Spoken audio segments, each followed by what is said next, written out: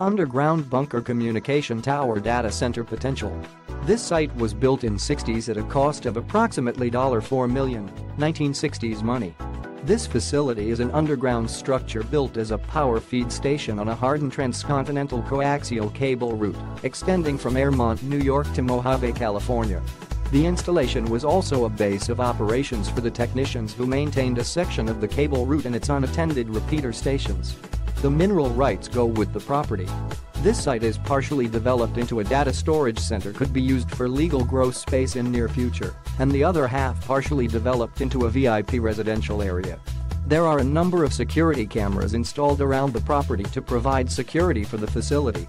They can be remotely operated for off-site security monitoring. Included with this system is keypad and keycard access.